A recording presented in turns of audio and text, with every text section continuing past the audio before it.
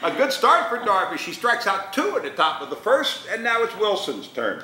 And you know he's not happy about this. Three base hits that never leave the infield. It wasn't Wilson's fault, but the Rangers get a run, and with the bases loaded and only one out, now it rings. A rain delay that lasted almost two hours, but it started again, and C.J. Wilson didn't come back. So the first pitch after the rain delay, Nelly Cruz gets a base hit, and now it's 3 nothing Rangers.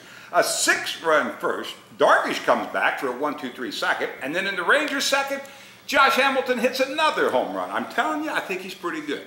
Maybe that's just me. Rangers uh, lead 8-2 uh, in the fourth. Cowboys